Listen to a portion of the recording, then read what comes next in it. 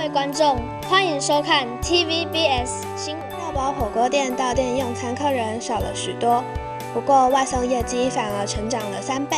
验院团队去年也观测到大屯火山群的周期性地震，类似动物心跳。占台南牛肉 Number One Number One，